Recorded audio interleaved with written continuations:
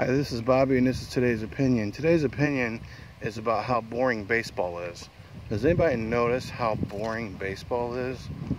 Maybe it's because I grew up in the 80s watching Tommy Herr, Ozzie Smith, Vince Coleman, Andy Van Slyke, Willie McGee run out ground balls with all their might and try with full effort.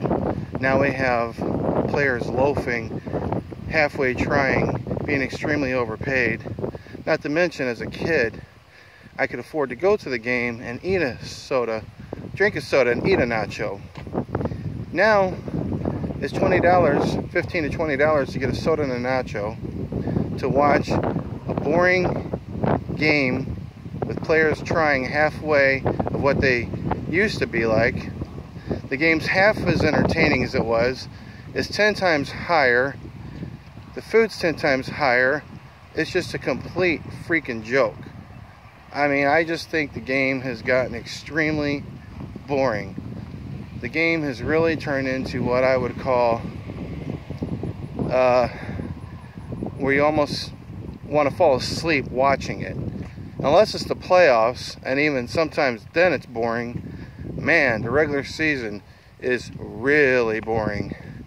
I know my fiance is not really into baseball and finds it boring, but when she would rather look at her phone than watch the game because there's nothing worth looking at, that should tell you all you need to know. So, how did the game get this way?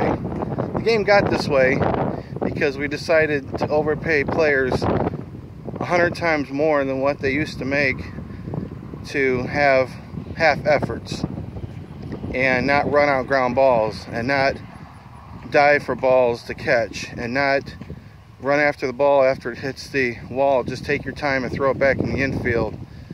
I mean, very few players give 100% effort anymore because it's, it's acceptable now to, to be a loafer. I don't get it, but the game is really boring and I guess they have no uh, motivation to change it anytime soon. Why would they? I mean, everybody still keeps paying to go watch it. It's just extremely sad for today's generation of children to watch such boring baseball versus the great baseball I watched growing up. This is Bobby, so subscribe below.